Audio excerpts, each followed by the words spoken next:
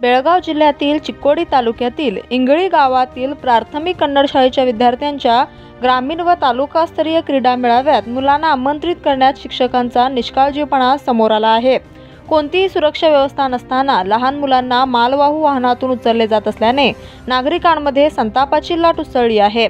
वाहनात मुलांसोबत शिक्षक असणे ही त्यांची जबाबदारी आहे. मात्र लहान मुलांना विनापरवाना पोटमाळ्यावरून उचलले जात आहे हे कितपत योग्य आहे? असा संताप व्यक्त केला जात आहे.